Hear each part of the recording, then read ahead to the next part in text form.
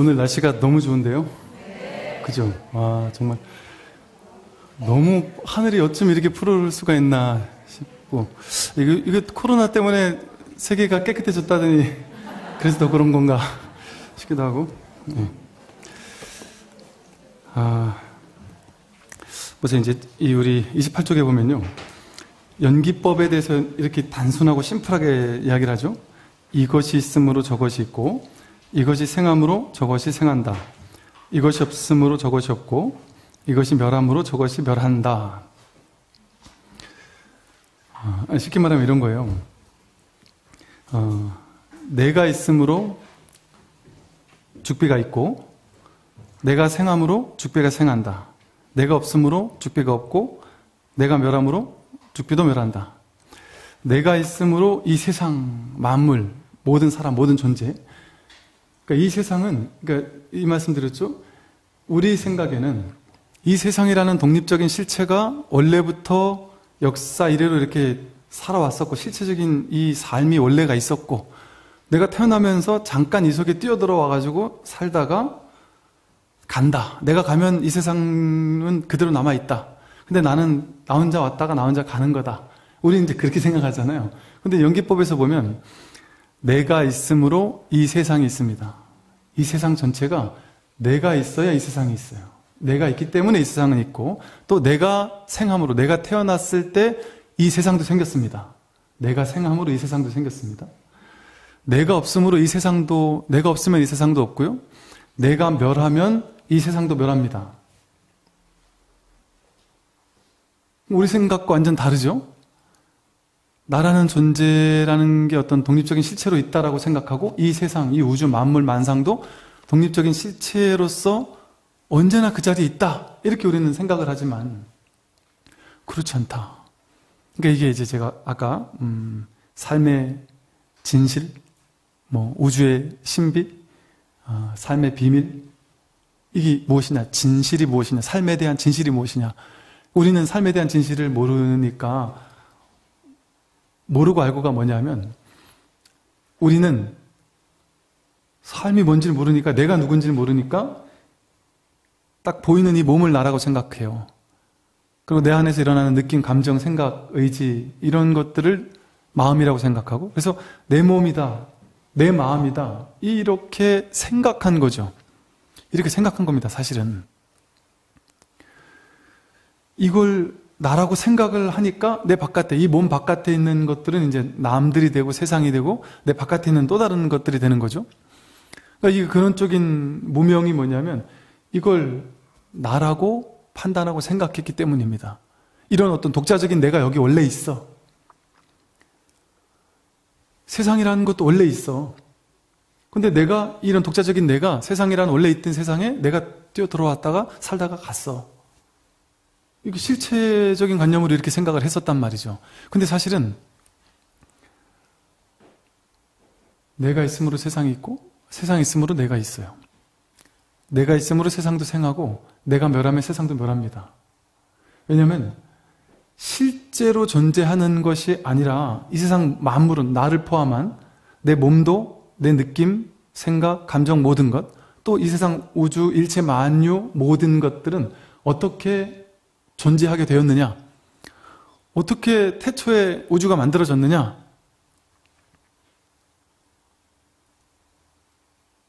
한 생각 일어나는 게 태초입니다.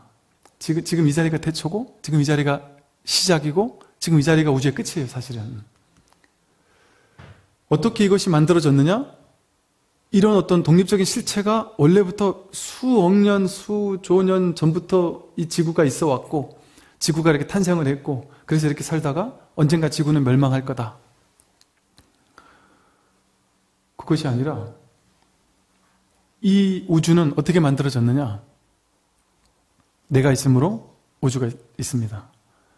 우주는 어, 실제 여러, 분이 우주라고 하는 모든 것은 내가 본 거죠, 본 거, 아니면 들은 거, 아니면 만져본 거, 아니면 생각한 거. 저 달나라가 있어, 별이 있어, 은하계가 있어. 이거 생각한 거잖아요. 아니면 하늘을 보면서 아 저게 우주구나 하고 본 거거나 본 거거나 생각한 거잖아요. 그죠?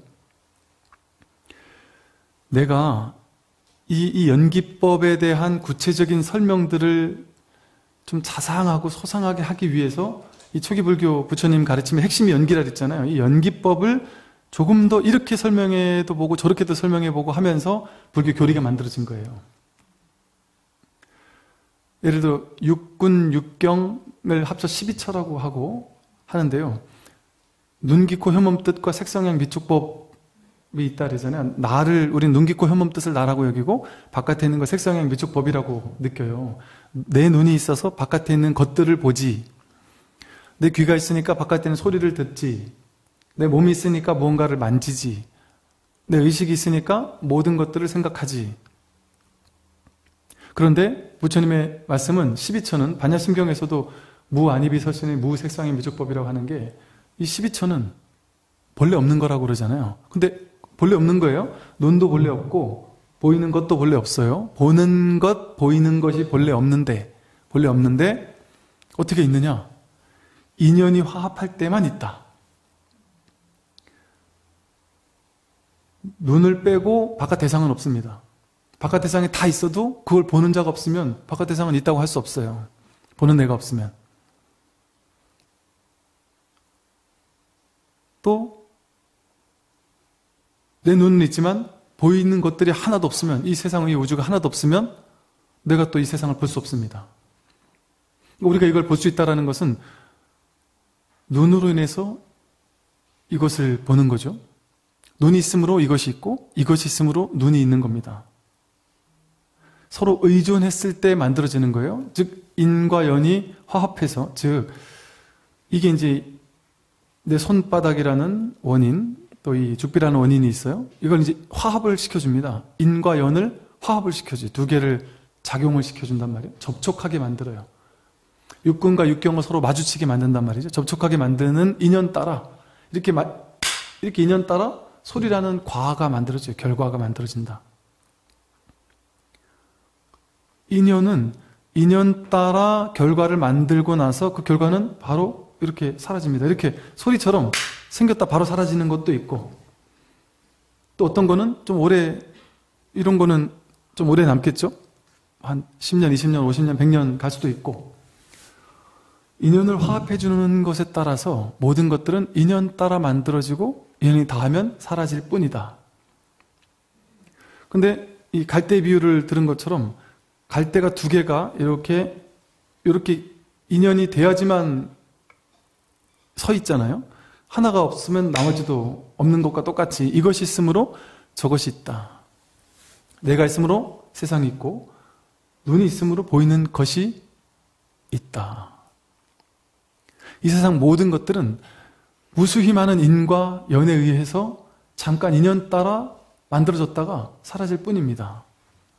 물질적인 모든 것도 인연이 화합해서 만들어졌다가 인연이 다하면 그냥 없어지죠. 우리 몸도 우리 몸도 인연 따라 생겨났다가 인연이 다하면 사라집니다. 이 세상 모든 것도 다 마음도 느낌도 수상행식이라는 느낌도 누가 나한테 안 좋은 말을 했을 때 안 좋은 느낌이 욱하고 올라온단 말이죠. 그러니까 인연 따라 올라왔어요. 근데 이거는 우리는 이 느낌 올라오고 나서 누가 네 능력 없는 사람이라고 말했을 때 화가 나는 욱하고 막 화가 나는 느낌을 딱 붙잡고는 이거는 이 소리랑 똑같이 생겼다 사라질 뿐인데 우리는 그 화나는 마음을 붙잡고는 그 아주 기분 나쁜 감정을 붙잡고는 그 사람을 계속 원망해요. 그 다음날 봐도 또 그 생각이 나서 인연 따라 생겼다가 인연이 사라져서 끝나버렸는데도 불구하고 우리가 쥔 거죠. 허망하게. 본래 그건 이미 사라져 버렸는데 이걸 이제 우리가 허망한 분별 의식이라고 그래요. 우리가 우리 의식을 가지고 그거를 상을 이미지로서 그걸 기억해 두잖아요. 내가 붙잡아 두잖아요. 그럴 게 전혀 없는데 그냥 왔다가 가서 끝나버렸는데 이걸 이미지로 상으로 붙잡고서 그걸 실체화 시킵니다. 저 사람이 나를 공격했어. 저 사람이 나를 욕했어. 저 사람은 내가 언젠가 복수해야 되겠다. 그럼 이제 인과응보라는 게 벌어지게 돼요. 그런데 보세요. 명과 상이라고 이제 표현을 했어요. 이게 초기 불교에서도 식의 대상을 명상이라 명, 명상이라고 그래요. 명색이라고 그래요. 즉 식이라는 게 뭐냐면 분별심을 식이라 해요. 즉 눈으로 무언가를 보자마자 이게 죽비다. 이건 길고 이건 짧다. 이렇게 알잖아요. 비교해서 아는 마음. 아는 마음을 분별 의식이라 그래요. 이걸 불교 용어로 이제 식, 식, 안입이 설신 의색성형 미촉법 하면 안식, 이식, 뭐 의식 이런 식으로 의식이라는 말이 불교에서는 그거예요. 아는 마음, 아는 마음인데 어떻게 하느냐? 비교해서 아는 마음. 이거는 짧다, 이거는 길다라고 봐서 아는 마음. 그 안식이에요. 봐서 분별해서 아, 알잖아요. 이런 식으로 아는 마음이 있는데 이 아는 마음의 대상이 뭐냐면 명색이에요. 명은 이름이고 이름, 이름 명자예요. 이름. 우리가 예를 들어 질투 이거는 눈에 보이는 뭔가는 아니지만 이름으로써 질투라는 걸 우리는 상으로 알고 있잖아요. 사랑 이런 사랑 눈으로 볼 수는 없지만 물질은 아니지만 상으로서 이름으로써 사랑이라는 이름이 있죠. 명이 있죠. 색 눈에 보이는 색은 물질적인 건 색이라고 하고 그 명상이라고도 그래. 상은 이미지 이미지로서 우리에게 남아 있어요. 그러니까 사랑이라는 이미지 이러이러한 이미지를 사랑이라고 이름을 붙인 거예요. 그러니까 이름에 사랑이라는 이름에 사랑이라는 이미지를 개입시킨 거죠. 그러다 보니까 어떤 사람은 사랑이 되게 행복한 건데 어떤 사람은 사랑에 대차게 차여본 사람이나 상처받은 사람은 사랑 그, 그가 같다 필요 없다 이렇게 생각할 수도 있죠. 즉 그 사람에게는 사랑이 A라는 사람과 B라는 사람은 사랑에 대한 이미지가 전혀 다르죠. 사랑이라는 명, 이름은 같은데 상, 모양은 다르게 입력이 돼 있는 거죠. 이처럼 우리는 저마다 자기 명색, 자기 명상, 자기 안에서 삶에 대한 이미지, 삶에 대한 그림 그려지는 게 다 다르게 그려져 있습니다. 그리고 실제 우리가 세상을 보는 것이 아니라 눈으로 본다 이러지만 실제로 우리가 눈으로 이걸 보는 게 아니잖아요. 원래 우리 과학적으로 보더라도 눈으로 이걸 보는 게 아니라 눈에서 어떤 이 시각 정보 이런 걸 뇌에서 이렇게 읽어드리는 그걸 보고서 이거라고 생각한 거죠, 얘가. 여기서 생각하는 거죠. 그것처럼 사실은 뭔가가 실제 하는 것이 아니라 우리가 뭔가를 보자마자 이거는 좋은 거야 나쁜 거야. 저 사람은 마음에 드는 사람 마음에 안 드는 사람. 나에게 도움되는 사람 도움 안 되는 사람. 이런 식으로 이름을 붙이고 그 이미지를 기억해요. 이미지로. 그래서 명과 색이 자동으로 작동을 합니다. 그러면서 이제 인식을 하는 거예요. 인식을 그래서 우리가 인식할 때 분별할 때는 대상을 알 때는 대상이 뭐다, 이거다, 저거다, 맞다, 틀리다, 옳다, 그러다 알 때는 반드시 명색, 이름을 붙이고 거기에 대한 모양, 모양을 기억한단 말이죠. 그래가지고 대, 대상을 파악한단 말이에요. 그런데 반야심경에서도 그러고 초기불교에서도 18개가 공하고 온 개공이라고 하듯이 이 식이라는 것은 실체가 아니거든요. 자기 안에 명과 색으로 저장해 놓은 거에 불과하죠. 그래서 우리는 바깥 대상을 실제 보는 것이 아니라 바깥 대상을 여기 와서 심상에 맺힌 것을 내 식대로 이름 붙이고 내 식대로 모양 지은 것을 그거라고 생각하는 거예요. 그러니까 실제 바깥을 우리는 경험하지 않습니다. 이래서 나한테 이미지 맺혀지는 상을 상, 상분이라고 그래요. 상의 부분. 그리고 내가 보는 부분, 내가 이거 보는 부분을 견분이라 그러는데 보는 부분인 견분인 견분이 보이는 부분인 상분을 보는 거예요, 실제로는. 내가 죽비를 보는 게 아니라 내 안에 있는 견분의 마음이 내 안에 있는 상분의 마음을 보는 거란 말이죠. 내가 나를 보는 거란 말이에요. 여러분은 이 세상을 경험하지 않습니다. 이 세상을 자기 식대로 해석된 세상을 경험할 뿐이에요. 동일한 사건이 벌어졌는데, 동일한 일이 눈앞에서 벌어졌는데, 어떤 사람은 그걸 긍정적으로 해석하고, 그럼으로써 행복을 느껴요. 어떤 사람은 그걸 부정적으로 해석함으로써 괴로움을 느껴요. 똑같은 사건인데도 불구하고 자기 신념이 어떤 신념이 머릿속에 들어앉아 있느냐에 따라서 자기 인식의 틀이 어떤 경험과 인식, 즉 무명행식이라 그러잖아요. 어떤 행위와 의식이 어떤 게 내 머릿속에 들어가 있느냐에 따라서 세상을 바라보는 필터가 달라지죠. 완전 달라지죠. 그래서 똑같은 세상을 만나는데 이렇게 오늘같이 아름다운 풍경의 하루를 마주하는데도 불구하고 어떤 사람은 오늘 이렇게 날씨가 좋다라는 걸 생각도 못하고 산 사람도 있을 거예요. 워낙 바빠서 컴퓨터 모니터 보느라고 정신이 없어서 혹은 누군가 막 싸우느라고 분노에 찬 마음 때문에 하늘을 볼 시간이 없을 수도 있죠. 왜? 거기가 완전히 나를 집어삼켜 버리니까. 그러니까 우리는 맨날 이 세상을 보고 살지만 모든 사람들이 이 맑은 하늘을 보고 있지만 이거는 똑같은 맑은 하늘이 아닙니다.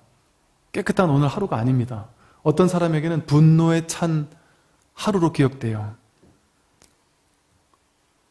어떤 사람은 우울한 하루로 기억될 수도 있고, 어떤 사람은 몰라보게 행복한 하루로 기억될 수도 있겠죠.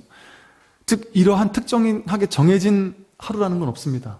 정해진 사건은 없습니다.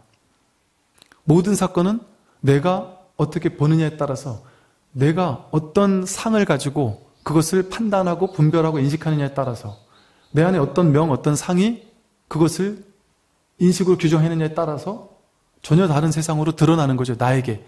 그래서요. 집안에 엄마, 아빠, 아들, 딸이 산다. 엄마가 보는 이 세상과 이 우주와 아빠가 보는 세상과 이 우주는 전혀 다른 세상을 살고 있습니다. 사실은. 똑같은 세상에 엄마, 아빠, 아들, 딸이 산다고 생각하잖아요. 전혀 그렇지 않습니다. 엄마가 사는 세상은 지옥일 수도 있고요. 아빠가 사는 세상은 천상일 수도 있어요. 근데 아들이 사는 세상은 또 다르고 딸이 사는 세상은 또 다를 수 있어요. 전부 다 자기가 보는 세상, 자기가 보는 상으로서 이상 맺힌 그 세상을 보고 대화를 하니까 우리가 소통이 안 된 이유가 거기서 오죠. 나는 이런 식으로 보고 저 사람은 저런 식으로 보는데 우리는 착각을 하는 게 뭐냐면 저 사람도 이렇게 볼 거야. 왜? 내가 눈으로 똑똑히 본 거니까. 내가 똑똑히 경험한 거니까 당연히 저 사람도 그렇게 봤을 거야. 명명백백하니까. 근데 그건 엄청난 오류죠. 이렇게 명명백백한 화창하고 맑은 하늘을 어떤 사람은 전혀 못 보거나 우울하게 본다, 볼 수도 있지 않습니까? 그렇게, 그래서 이제 이런 표현이기도 하죠. 내가 죽으면 걱정하지 마라. 내가 죽으면 세상도 사라진다라는 말은 이 물질 우주가 사라진다 뭐 이런 말보다도 내가 만들어 놓은 이 물질 우주라는 게 없어요. 내가 만들어 놓은 나에게 맺혀 상으로 맺혀진 그 세상이 있을 뿐입니다. 내가 만들어 놓은 세상이죠. 철저하게 내 안에서 경험되는 세상이죠. 내가 만든 세상이요. 사람들은 자기 세상을밖에 경험할 수 없습니다. 독자적인 세상이라는 뭔가가 딱 정해져 있어서 그걸 경험하는 게 아니고 내가 바라본 세상만을 자기는 경험하는 거니까 온전히 자기 세상밖에 없어요. 자기가 보는 세상. 그러니까 내가 죽으면 내가 보는 세상은 죽는 겁니다. 이 세상은 나만 가지고 있었으니까. 내가 분별해서 만들어 놓은 세상이었으니까. 이처럼, 어, 이게 이제 또 좀 더 나가보면요. 아까 눈이 세상을 본다고 했잖아요. 그냥 있는 그대로 보면 습관적인 생각을 가지고 보지 말고 우리는 보자마자 내 눈이 바깥의 대상을 본다. 이렇게 생각을 해요. 당연히 그렇게 분별을 하는데 그 생각 다 빼면 이름 빼고 모양을 빼고 보면 이거 이름 빼고 모양을 빼고 보세요. 뭐죠? 이름을 안 빼면 이건 죽비죠. 그죠? 이름을 빼면 얘는 뭡니까? 얘가 길쭉하다라는 모양이 있는데 길쭉하다라는 모양을 빼고 죽비라는 이름도 빼고 나무 같다라는 인식도 빼고 그 명가상을 다 빼면 이게 뭐죠?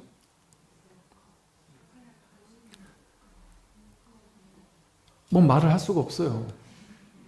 그냥 이럴 뿐이잖아요. 그죠? 그냥 이것을 경험할 뿐이에요. 그런데 우리 금강경에서 범소유상 개시 허망 이렇게 상이 있는 모든 것들은 범소유상, 상이 있는 바 모든 것들은 허망하다. 실제가 아니다. 실체가 아니다. 약견, 재상, 비상, 직견열애. 만약에 상을 상이 아닌 것으로 보면 직견열애, 곧장 부처를 본다. 큰 스님들이 이게 부처야. 라고 할 때 우리는 이거를 명과 상으로 보잖아요. 법성계인가요? 무명무상 절일체라고 해서 명도 없고 상도 없고 일체가 끊어졌다. 이런 표현이 있잖아요. 그럼에도 불구하고 우리는 명과 상으로 봐요. 그것도 자기만의 명, 자기만의 상으로 봅니다. 어떤 사람을 보고 나는 아, 허가명 이렇게 이름을 지을 수 있어요. 그 사람에게. 딴 사람은 나는 느끼한데 느끼한 사람 이렇게 이름을 지을 수 있어요. 그리고 자기 안에 이미지를 가지고서 그 사람을 볼 수 있죠. 전혀 다르게 경험하는 겁니다. 그런데 명과 상을 빼고 보면요. 사실은 내가 저 바깥에 있는 것을 본다라는 것도 명이고 상입니다. 그것도 분별입니다. 굳이 말로 하면 그냥 볼 뿐이에요, 사실은. 그냥 이렇게 경험될 뿐입니다. 이 경험되고, 이렇게 경험되고, 그냥 이, 이 작용될 뿐이에요, 그냥. 작용이 있을 뿐이에요, 하나의 작용들이. 명과 상을 빼면. 그러니까 여러분들이 명상, 그러니까 이 명상, 그 명상이 아니고 우리가 명상을 한다 그러잖아요. 실천할 때. 윗바사나 한다, 명상한다, 마음 공부한다 이런 수행한다 그러잖아요. 수행한다 할 때 그 명상은 뭐냐면 평소에 명, 이름과 모양을 가지고 대상을 보는 게 습관이 돼 있잖아요. 그리고 나와 너를 나눠서 이름과 모양이 있으면 나란 이름, 남이라는 이름이 있고 나라는 상, 남이라는 상이 있어요. 그 최초의 상이 나와 너라는 돌로 나누는 분별이니까. 근데 그걸로 보게 된단 말이죠. 근데 그거 너머에서 그냥 그냥 경험하면 명과 상을 빼고 경험하면 그냥 봅니다. 그냥 볼 뿐이에요, 볼 뿐. 초기 불교에서는 뭐 깨달음이니 무슨 자성이니 불성인 이런 얘기 안 해요. 그냥 봐라 이럽니다. 윗바사나 있는 그대로를 있는 그대로 봐라 정견. 윗바사나 그냥 볼 뿐. 그, 그 여타부타 그 뒷말이 없어요. 봄은 보다 보면 깨닫는다 이런 말 없어요. 보다 보면 깨닫는다거나 보다 보면 뭐 자성을 확인한다거나 이런 말이 아니에요. 봐라. 끝. 윗바사나잖아요. 그냥 보라. 선에서는 이건 이제 조금 다른 측면으로 보죠. 이, 이 아무것도 아닌 것을 자성이라고 이름을 붙였어요. 이름을 붙여서 자성을 확인한다. 이런 식의 방편이 다른 거예요, 서로. 핵심은 뭐냐면, 그래서 이제 모든 불교 가르침의 핵심은 본다라는 거에 있습니다. 본다. 눈으로 보죠? 그럼 보는데 명과 상을 빼고 봅니다. 소리를 들어봐요. 들어보는데 우리는 소리 듣자마자 좋은 소리, 나쁜 소리 이렇게 해석하면서 들었는데 명과 상을 빼고 아 이게 어떤 소리야? 좋은 소리야? 나쁜 소리야? 바람 소리야? 고양이 소리야? 이런 생각 해석 없이 맨 느낌으로 그냥 듣는 게 명상이에요. 윗바산하고 봄입니다. 봄. 그게 진실이에요. 손에선 이걸 공적 영지, 영각성 이래서 소수영령하게 깨닫는 마음, 아는 마음 이걸 알잖아요. 이렇게. 듣는다라는 것을 알고 본다라는 것을 봐서 알고 두 번째 자리 떨어져서 생각, 해석, 판단, 분별해서 아는 거 말고 그냥 안단 말이죠. 깐난애기가 깐난애기가 어떤 소리가 들릴 때 엄마 소리가 들리고 아빠 소리가 들리고 바람 소리가 들리고 고양이가 소리가 들리, 들린다는 건 알아요. 얘는. 근데 분별은 안 해요. 이름도 몰라요. 명도 없고 상도 없어요. 깐난애기는. 그냥 부처예요, 사실은. 그러니까 천진불이라고 부르잖아요, 어린아이들을. 명과 상을 해석해서 보지 않아요. 그러니까 네 편, 내 편이 없습니다. 그냥 맨 느낌으로 경험해요. 그러니까 뭔가 찜찜한 느낌이 경험되면 뭐 오줌 똥을 쌌으면 그냥 울고 배가 고프면 그냥 울고 먹어서 해결, 해결되면 그냥 웃고 둘이 안 나눠져 있습니다. 둘로 나눠져 있지 않습니다. 명가상 두 번째 자리에 떨어지지 않는단 말이죠. 그래서 사실은 그 아기들에게는 나다 너다라는 개념이 없어요. 둘로 쪼개져야지만 나다 너다라는 개념이 들어가기 시작하는 거예요. 그러니까 애들은 뭐 내가 이런 얘기 안 하고 엄마 아빠가 개똥아 개똥아 하면은 얘도 개똥이는 배고파. 그리고 뭐 귀는 들었어. 귀가 들었어. 내가 들었어. 이렇게 안 하고. 뭐 귀가 들었어. 내지. 뭐 내, 이렇게 얘기하거나. 지가 그림을 그려놓고 손이 이렇게 그렸어. 내가 했다라는 생각을 안 해요. 그게 우리의 본래 자리입니다. 근데 우리는 이후에 이제 살면서 배운 거예요. 내가 이것을 했어. 내가 봐. 이건 우리가 너무 익숙하게 둘러 나누는 분별의 습관입니다. 냉정하게 그냥 여러분 스스로 한번 경험해 보세요. 냉정하게 그냥 가만히 무견히 보고 있으면 이게 진짜 내가 바깥을 본다? 이거는 생각일 뿐이에요. 그냥 봐요, 그냥. 느낄 때도 그냥 느끼고. 몸에서 일어나는 느낌을 느낄 때도 이게 내 몸이 느낀다라는 그냥 내가 그렇게 생각한 거지. 느낌, 봄, 들림, 이 모든 것들이 어떤 구분 없이 일어나요. 어디까지가 내 몸이고 어디까지가 몸 바깥인지를 사실은 알 수가 없어요.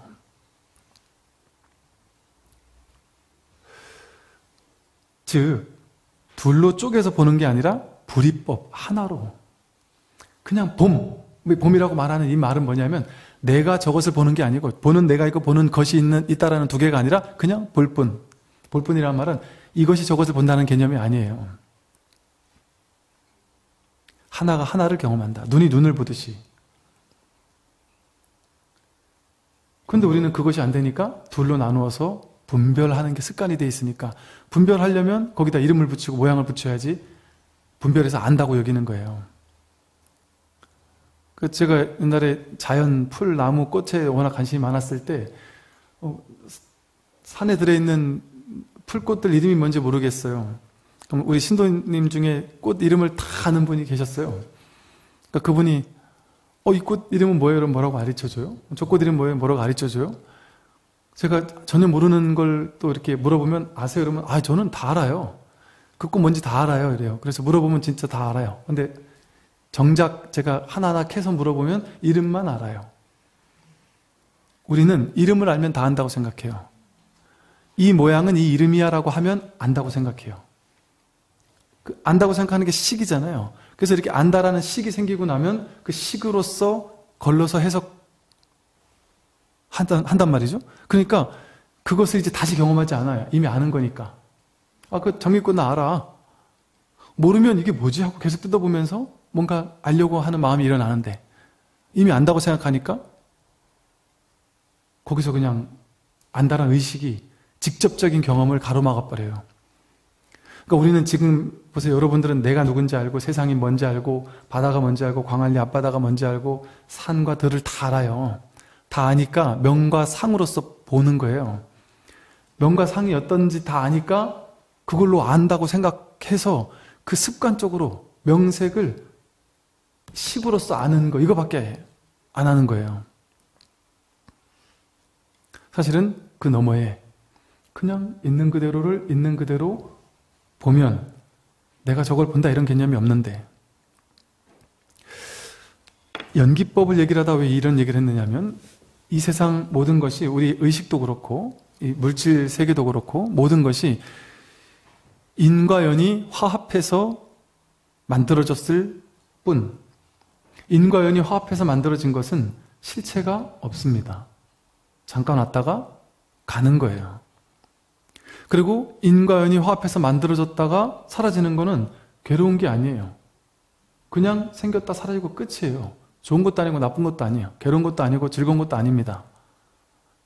야, 임마, 이 소리는 좋은 것도 아니고 나쁜 것도 아니에요. 그냥 생겼다 사라지고 끝.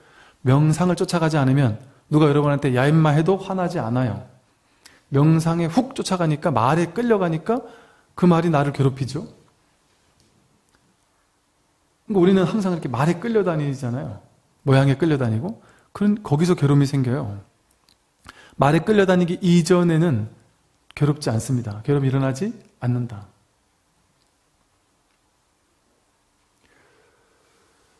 생겨난 모든 것은 사라진다.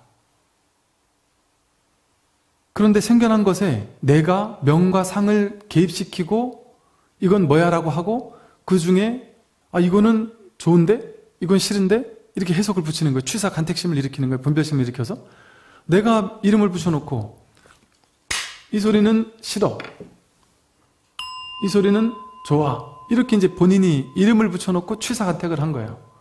그래서 아 스님 뭐 법문할 때 이것 좀 하지 마세요. 법문할 때 이거는 괜찮은데 이건 좀 하지 마세요. 이렇게 얘기를 한단 말이죠.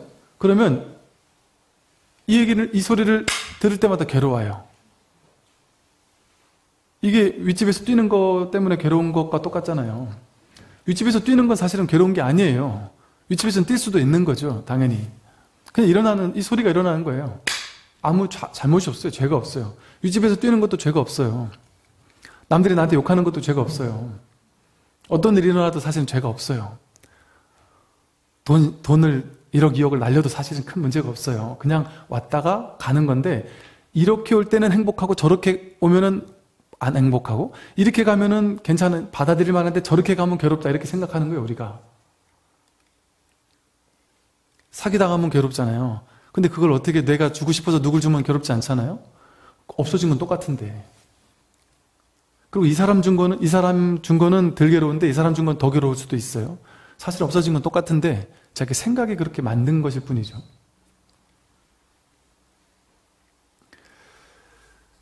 이처럼 세상 모든 것은 인연 따라 그냥 생기고 사라지는 거는 본래 생긴 바가 없어요. 사라진 바가 없고. 그 말은 뭐냐면, 인연 따라 생기고 사라지는 것은 무상하게 변해가는 것이기 때문에 그냥 아무 의미가 없어요. 의도가 없어요. 세상은 의미는 내가 만드는 거예요. 세상엔 의미가 없습니다. 사람이 의미를 만들잖아요. 노자에도 보면은 천지는 불이 나다. 이 세상 천지는 인이 없다. 인자하거나 이러지 않다. 냉정하다. 사람들을 그냥 종이로 만든 강아지처럼 생각한다. 이 천지는 우주 만물은 법은 진리는 냉정합니다. 우리 생각에는 인정에 따라서 내 생각대로 뭔가가 됐으면 좋겠어요. 내가 원하는 대로 이루어졌으면 좋겠고 부처님은 내 뜻을 따라주는 분이었으면 좋겠고 내가 원하는 대로 이걸 가피를 내려줬으면 좋겠는 건 중생들의 생각이에요. 그건 사람의 생각이에요. 사람의 생각. 법은 그런 생각이 없어요. 법의 입장에서는 어떤 사람은 부자 되게 하고 어떤 사람은 가난하게 하면 이 사람은 부처님에게 가피를 받았다 생각하지만 이 사람은 가피를 못 받은 거잖아요. 법은 그런 걸 하지 않아요. 누구에겐 좋은 거 주고 누구는 나쁜 거 주고 그런 걸 하지 않습니다. 인연 따라 인연을 그냥 작동시킬 뿐이에요. 거긴 좋고 나쁜 게 본래 없어요. 사람이 죽는 거는 나쁜 일이 아닙니다. 좋은 일입니다. 당연한 일입니다. 자연스러운 일이고 그냥 좋거나 나쁜 게 아니에요. 아무 의미가 없어요. 본래 생한 건 벼락이 마련이에요. 인연 따라 생했다, 인연 따라 사라지고 끝. 아무 의미가 없습니다. 거기는. 근데 우리는 자연사 하면 좋아, 행복해. 교통사고 나서 죽었으면 비참해. 그건 자기 생각, 사람이 하는 생각이에요. 하늘과 땅은 폭풍우를 만들고 비바람을 만들어서 사람을 몇만 명을 한꺼번에 죽이기도 합니다. 가뭄을 만들게 하기도 하고 천재지변을 이렇게 하기도 해서 사람이나 동식물을 한꺼번에 죽이기도 해요. 하다못해 사자나 호랑이도 평생토록 잡아먹어요. 그러면서 참회 안 하고 미안해 하지 않습니다. 그냥 잡아먹고 거서 끝. 그러니까 우리는 인간이 더 낫다고 생각하지만 인간처럼 배가 부르면 사자 호랑이는 눈앞에서 토끼가 뛰어놀아도 나를 괴롭혀 고양이 강아지가 나한테 와서 횟꼬지를 해도 안 잡아먹는다는 거죠. 배가 부르면 사람은 배가 욕심 집착 때문에 배가 불러도 비축해 놓기 위해서 잡, 잡고 또 양육해 가지고 막 이런 욕심을 부릴 뿐이죠. 사실은 이 우주 법계는 아무런 좋고 나쁜 게 없습니다. 좋고 나쁜 건 사람이 만드는 거예요. 우주는 인지하지 않습니다. 법은 인지하지 않습니다. 이 법 공부를 하면 내가 원하는 대로 모든 걸 다 이루어질 수 있겠지? 그렇지 않습니다. 이 법 공부를 하면 자유로워지는데 어떻게 자유로워지는지 아세요? 아, 마음 공부를 했더니 내가 뜻하는 바대로 승승장구하고 모든 게 다 이루어져. 돈도 잘 벌려. 건강해지고 아무 문제 없어져. 괴로움이 없어졌어. 괴로움이 없어진 건 맞지만 내가 원하는 대로 이루어져서 난 행복해. 그러니까 불교는 최고야. 불교 잘못하는 겁니다. 법을 깨달은 사람은요, 아, 내가 법을 깨달았으니까 내가 원하는 대로 내 인생을 내 뜻대로 바꾼다? 이러지 않습니다. 그럴 내가 없으니까. 내 뜻대로 바꾼다라는 생각은 이게 나라는 생각이 있어야 내 뜻대로 이거를 바꾼다는 거잖아요. 근데 깨닫게 되면 이게 내가 아니고 이 우주 전체가 나거든요. 법신. 법신 부처님이 법신불이 바로 내 몸이기 때문에 온 우주 전체가 둘이 안에 하나로서 난데 이게 내가 아니라 그것이 난데 어떻게 내 뜻대로 내가 더 부자가 되고 더 잘나고 그게 행복이라고 생각할 수 있어요? 법에서는 내가 죽어도 눈 하나 까딱 안 합니다. 내가 병 걸려도 아무 상관없어요, 법에서는. 왜? 그건 자연스러운 일이에요. 인연이 화합하면 인연이 소멸되는 건 자연스러운 이치예요. 아무런 문제가 없습니다. 사람이 여러분 보세요. A라는 사람이 있어요. 나와 아무 문, 아무 상관이 없어요. 그럼 그 사람이 죽어도 상관없습니다. 근데 갑자기 그 사람과 인연을 맺고 그 사람이 갑자기 좋아지고 그 사람을 사랑하기 시작했다. 근데 그 사람이 죽었다. 그럼 괴롭죠. 그냥 일반 그냥 평범한 사람이 인연을 맺으면 인연을 맺으면 그 사람의 죽음은 괴롭고 인연 맺지 않으면 괴롭지 않아요. 또 미운 인연으로 맺어지면 그 사람이 죽으면 행복할 수도 있어요. 그러니까 즉 사람이 죽는 것은 괴로운 게 아니고 즐거운 것도 아닙니다. 그냥 있는 그대로일 뿐이에요. 자연. 그런데 사람이 그 죽은 걸 보고 환호하기도 하고 그 죽는 걸 보고 괴로워하기도 하고 사람이 만들 뿐이에요. 건강함을 바라면 건강하지 않을 때 괴로워요.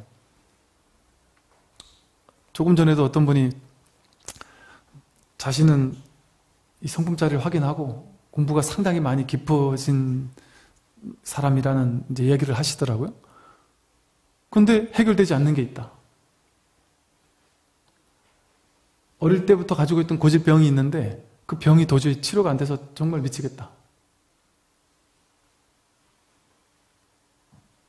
그러니까 겸손하게 공부를 해야 돼요.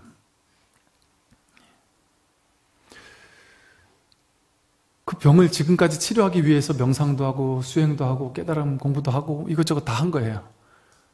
그래서 내가 깨달음도 얻었다고 생각을 해요. 그런데도 불구하고 이 병은 안 낫는다. 제대로 된 깨달음일까요? 뭐 제대로 된 깨달음이 아니다라고 얘기하는 건 아닙니다. 어, 제대로 된 깨달음을 얻어도 이런 일이 벌어져요, 사실은. 자기 안목이 있는데 깨달음의 어떤 성품을 하긴 했어도 나쁜 짓 하기도 합니다. 자기 업을, 업습을 못 버려서 술 먹고 주정하기도 하고요. 나쁜 짓 하기도 하고요. 나쁜 꿈도 꾸고, 그럴 수 있어요. 여전히 마누라 괴롭히고, 이럴 수 있어요. 그, 그걸 몰라서 그런 얘기는 아니고, 그러나 제가 아까 해오 증오라고 했듯이 원숙하게 정말 제대로 된 갖추지 않으면 그걸 자기가 깨달았다는 얘기를 자꾸 그렇게 하면 안 된다는 거죠. 그러니까 그런 몸의 병조차 스스로 조복하지 못했는데 어떻게 깨달았다는 얘기를 그렇게 쉽게 하면 주변 사람들 어떻게 보겠어요? 제가 이 교사님께 아이고 교사님은 그 고집병 때문에 평생을 고생하시고 또 그것 때문에 이제 그걸 없애기 위해서 수행도 하고 그 많은 어른 스님들도 쫓아다니고 하면서 마음 공부도 하고 그래서 좋은 어떤 어떤 공부도 되셨는데 딱 하나 안 한 게 있으시네요. 뭘 안 했느냐? 공부해서 이 병을 없애겠다. 이 병을 없어져야 된다라는 자기 기준이 있는 거예요. 병이 없어져야지만 나는 행복할 수 있어. 그래야 내가 해탈할 수 있어. 내가 자유로울 수 있어. 이 병 때문에 나는 괴로워. 이 병이 없어지기 전에 나는 완전하지 않아. 사실은 그렇지 않습니다. 번뇌 즉 보리라고 하죠. 병이 있는 그대로 완전한 줄 알아야 돼요. 그 병을 해결하려고 하고 없애려고 하는 그 마음은 둘로 나누는 마음에 병이 있는 내 몸과 병이 없는 몸을 둘로 나누어서 병이 있는 몸으로 가려는 거잖아요. 둘로 나누는 추구심입니다. 그 병이 있다라는 건 뭐예요? 이, 이 몸이 나라는 생각이 있으니까 이 몸에 병이 있다라는 거잖아요. 완전히 하나가 되지 않은 거예요. 불이법이 기합이 되지 않은 거죠. 이 병을 온전히 허용해 이 병이 바로 나다. 사실은 깨달음을 얻어서 병을 없애려고 생각하지만 그 생각이 망상이고 이 병이 그대로 깨달음이다. 큰 스님들이 제자가 도가 무엇입니까? 부처가 무엇입니까? 물으면 기둥, 고양이, 강아지, 말뚝 이런 식으로 얘기를 해요. 지금 지금 여러분은 아무 할 일이 없습니다. 무위라고 하죠. 무위. 즉 이대로 완전합니다. 이렇게 얘기하면 너무 그렇게 얘기하면 내가 아무 할 일이 없어서 완전 놀기만 할 것 같은데요? 해보세요. 가만히 놀기만 해보세요. 안 그렇게 돼요. 인연 따라 내가 여태까지 살아왔던 습이 있는데 그냥 가만히 놀게 안 돼요. 그냥 무위를 체득해도 가만히 노는 게 아니에요. 부처님은 완전 무위잖아요. 근데 부처님처럼 많이 활동한 사람이 어디 있습니까? 전법하느라고 그렇게까지 활동적으로 열정적으로 전법하신 분이 어디, 계, 어디 계세요? 진정으로 모이기 때문에 움직이게 됩니다. 멈춤이 비로소 움직임이 돼버려요. 그러니까 그런 걱정을 할 필요 없다는 것이죠. 그래서 이 세상은, 이 세상의 진실은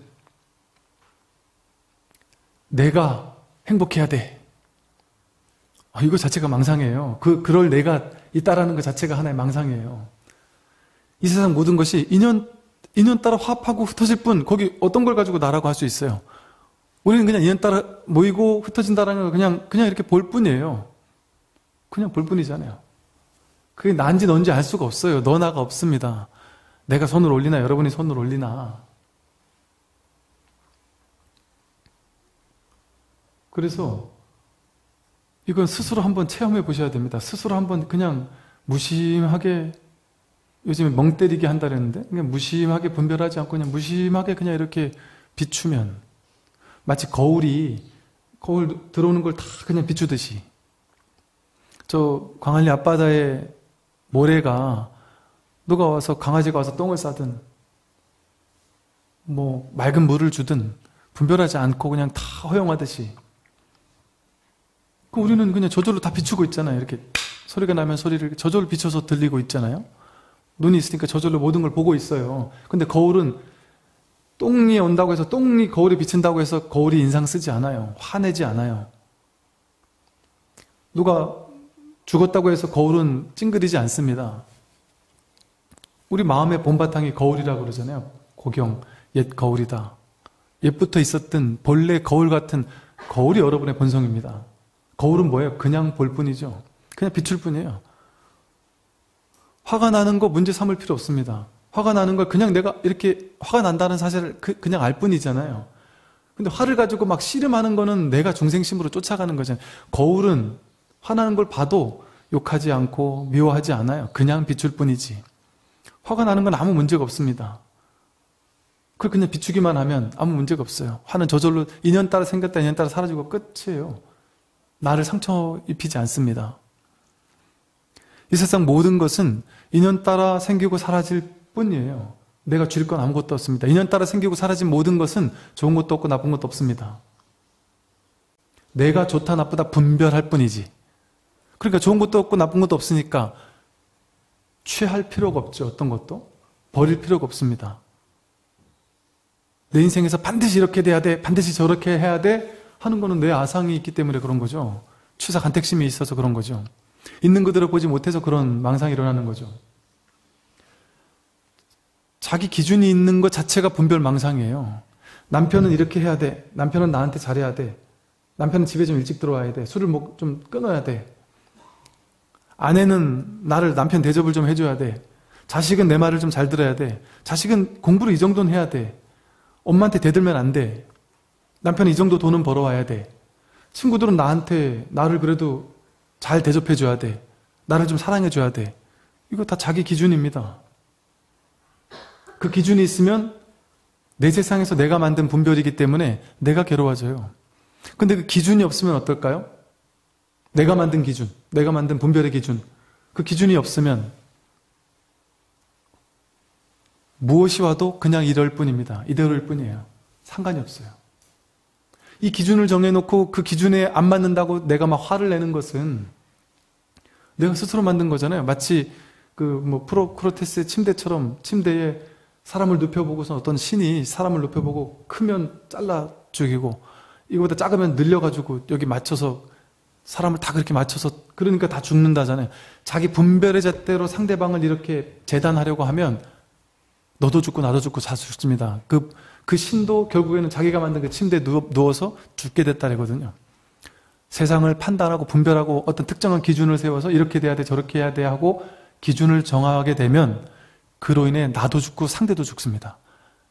그래서 나 때문에 나의 그 기준 때문에 내 남편이 얼마나 힘들지 내 아들, 딸이 얼마나 힘들지 사실 그 생각을 못해요. 왜? 이 기준은 옳은 건데 너는 틀렸고 내 기준이 옳은 거니까 이건 강조해야 된다고 생각해요. 집착해야 된다고 생각해요. 그게 너를 위한 거라고 생각해요. 너를 위한 거 아닙니다. 내 분별 망상의 의식을 위한 겁니다. 진리를 위한 게 아니에요. 진리를 위한 거는 그 어떤 것도 고집하지 않습니다. 분별하지 않습니다.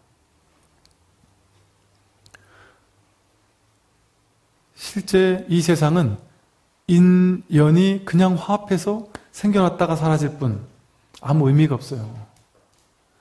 여러분은 야 내 인생이 아, 정말 의미가 있었어. 내 인생 그래도 멋있었어. 자기 생각이에요. 성자가 된 청소부 같은 청소부였는데 그 사람은 놀라운 깨달음을 얻었을 수도 있어요. 그냥 그 아무것도 아닌 청소일을 평생 하고 살았지만 평생 농사만 짓고 살았지만 그 사람은 이 온 우주를 밝히는 그 사람이 스스로 깨닫는 것을 통해서 삼천 대전 세계를 일시에 깨닫는 일을 금강경에서 말하는 온 만중생을 일시에 제도하는 일을 끝내 마친 사람일 수도 있습니다. 근데 아무리 위대한 일을 하고 돈을 벌고 세상을 바꾸는 뭔가 기술을 발견하고 했다 할지라도 어, 누가 더 귀한 사람인지 알 수 없습니다. 그런 귀한 사람이라는 건 본래 없어요. 내가 뛰어나서 어떤 발명을 했다? 그런 거 없습니다. 이, 이, 그런 거 있다 그러죠. 세상은 보니까 놀라운 인류를 뒤바꿀 만한 놀라운 발명이 일어날 때는 동시다발적으로 같은 곳에서 동시다발적으로 일어나더랍니다. 그 영감을 한 사람만 받는 게 아니라 여러 명이 동시에 받는답니다. 그러니까 비슷한 시기 BC 한 4천 5천 년경에 동시에 5대 문명이 일어났다가 동시에 그 문명이 또 없어졌어요. 비슷한 시기에 중국도 저쪽 유럽 쪽도 우리나라 쪽도 인도 쪽도 동시에 비슷한 시기에 철기가 일어났다가 사라졌고요. 부처님 당시부터 시작해서 동시에 그 차축의 시대라고 하는데 깨어난 사람들이 부처님만 깨어난 게 아니라 비슷한 시기에 노자, 장자도 있었고요. 비슷한 깨어나는 사람들이 생겨나기 시작하고 내가 하는 뭔가가 아니, 아니에요. 우리는 지금까지 굳게 믿고 내가 살아. 내가 산다라는 이 엄청난 착각에 빠져서 사니까 평생을 나라는 굴레에 갇혀서 내가 먹고 살고 내가 부자가 되고 내가 능력 있고 내가 돈 벌고 내가 성공하고 내 자식 잘 키워야 되고 이것만 내 인생의 제일 원칙으로 알고 살았잖아요. 그러니까 탐진치 삼독이 일어나죠. 욕심이 일어나고 내 뜻대로 안 되면 화가 나고 내 기준대로 다 세상을 재단하려고 하고 그리고 자기 분에 못 이겨서 스스로 괴로워하고 근데 이 연기법을 본다면 연기법의 관점에서 본다면 이 세상 모든 것은 그냥 인연이 화합해서 생겨나고 인연이 다하면 사라질 뿐 거기는 좋고 나쁘고 옳고 그르고 이런 거 아무것도 없습니다. 즉 우리 인생에는 좋은 일 없어요. 나쁜 일 없어요. 그냥 이러한 일이 있을 뿐입니다. 돈을 날렸어도 내가 돈을 날린 게 아니고 그냥 그럴 뿐이에요.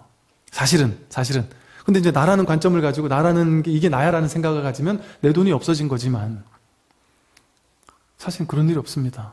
그러니까 이렇게 나라는 아상, 에고라는 이 몸에 갇힌 사고방식을 가지면 우리는 평생을 이 몸의 노예가 돼서 죽을 때까지 울고 웃는 놀이, 이 울고 웃는 이 시달림을 받을 수밖에 없어요. 이거 놀이가 아니죠, 이거는. 엄청 고된 일이죠. 스트레스 받는 일이죠. 그러면서 결국 어디를 향해 가요? 죽음을 향해 가니까. 내가 죽는다라는 생각을 향해 간다고 생각해보세요. 시한부 인생을 살면서 간다. 얼마나 비참해요. 근데 그게 진실이 아니라는 걸 확인한다면 얼마나 자유롭겠습니까? 아, 이게 내가 아니구나. 이게 죽든 살든 상관이 없구나. 부자가 되든 가난하게 되든 상관이 없구나. 남들이 여기다가 욕을 하든 칭찬을 하든 상관이 없구나. 거기 대응하며 살기는 해요. 응무소주 이생기심으로. 그러니까 전혀 걱정할 필요는 없습니다. 그렇게 되면은 내 인생이 완전 무의미, 너무 남들과 못 살지 않을까요? 그건 상관없습니다. 그러더라도 깨달아도 싸울 때 싸우고 욕할 때 욕하고 뭐 할, 할 건 다 합니다. 일할 때 일하고 돈 벌 때 돈 벌고 자식 사랑하고 할 건 다 하지만 거기 확 휩쓸려 가지 않을 뿐이죠. 참 진리가 뭔지를 안 상태에서 그 연극을 즐길 뿐입니다. 그러니까 큰 괴로움이 있을 일이 없어요. 죽어도 내가 죽는 게 아닌데 뭔 괴로움이 있을 게 있겠습니까? 폭, 뭐, 지구가 폭발을 한다 해도 큰 상관없죠. 이 지구가 내가 아니고 내 몸이 내가 아니니까. 그 모든 것이 일어나고 사라지는 그 바탕이, 근원이, 근원자리가 나니까. 근데 이걸 어떻게 알 수가 있느냐? 연기법을 증득하면 되는데, 어떻게 연기법을 증득하느냐? 초기불교에서는 윗바사나 이러잖아요. 있는 그대로 봐라. 그래서 앞으로 나올 불교 교리가 전부 다 지금 제가 설명한 이 연기법을 증득할 수 있는 방법을 설명하고 있어요. 그 다음부터 나오는 계속되는 교리들이. 그래서 어떻게 지금 제가 이제 너무 좀 이런저런 이야, 다양한 이야기들을 했다 보니까 여러분들이 좀 헷갈릴 수는 있는데 5원 12처 18개라는 가르침을 통해서 또 초기불교의 모든 교리를 통해서 아 내가 세상을 보는 관점, 안목 이게 이제 조금씩 조금씩 달라지기 시작하고 그러면서 현실에서 이 명상 수행을 하라는 것은 뭐냐면 윗바사나 있는 그대로 있는 그대로 본다. 정견. 있는 그대로 본다. 아, 명과 상을 빼고 본다. 이름과 모양을 빼고 본다. 그러면서 이걸 화두처럼 그러고 일상생활을 살아보면 첫째 보이는 게 야, 나는 지금까지 전부 다 내 머릿속에 있는 명과 상을 보고 살았구나. 실제 그 존재와 접촉한 적은 없구나. 여러분은 실제 남편을 만난 적이 없습니다. 내 머릿속에 있는 남편하고만 사, 결혼하고 사는 거예요. 그 남편하고 안 살고 머릿속에 있는 그 남편에 대한 상과 사는 거예요. 실제 그 자식을 만나본 적이 없어요. 한 번도. 내 머릿속에서 그 자식에 대한 내 이미지를 가지고 산 거예요. 그러니까 어떤 한마디를 하는데 내 머릿속에 이미지가 게임을 하고 있어요. 걔는 어쩌면 하루 종일 공부하다가 그때 잠깐 게임한 걸 수도 있는데 집에 딱 들어갔는데 게임하고 있으니까 머릿속에 쟤는 원래 게임하는 애. 이 상을 가지고 그 아이를 판단하니까 버럭 화를 내요. 어떤 일이 일어난지 모르고 여태까지 계속 공부하다가 지금 게임 시작한지도 모르고 내 머릿속에 이미지를 가지고 얘가 저걸 하고 있으면 계속 저것만 했을 거야 라고 섣불리 넘겨짚는 거죠. 왜 넘겨짚어요? 내 머릿속에서 그렇게 걔를 판단한 그거를 내 머릿속에 안고 사니까 그 아이를 진짜로 경험하는 게 아니고 내 머릿속에 있는 이 경험을 경험하니까 그래서 이 마음 공부는 자기 머릿속에서 분별 망상으로 만들어 놓은 이것을 믿지 않고 이것으로 세상을 경험하지 않고 이 분별 망상이라는 허망한 착각으로 세상을 색안경처럼 삐뚤어지게 경험하지 않고 명과 색으로서 이름과 모양을 가지고 세상을 보지 않고 약견 재상 비상 직견절에 하듯이 그 상을 타파하고 이름과 모양에서 벗어나서 분별에서 벗어나서 첫 번째 자리에서 있는 그대로를 있는 그대로 보는 아주 심플하고 아주 단순한 실천입니다. 그래서 한 번씩 이렇게 문득문득 눈은 늘 보고 있잖아요. 귀는 늘 듣고 있잖아요. 근데 내가 얼마나 내가 분별해서 보느냐, 보자마자 해석하는지, 듣자마자 해석하는지를 한번 직면해 보면 대번에 이거는 답이 나오잖아요. 아, 나는 진짜 보자마자 해석하는구나. 듣자마자 해석하는구나. 분명해져요. 그러면 빼보는 거예요. 본질이 아닌 건 빼보는 거예요. 어떤 말을 듣고 누구는 좋아하고 누구는 싫어한다? 그럼 그건 자기 해석일 뿐이잖아요.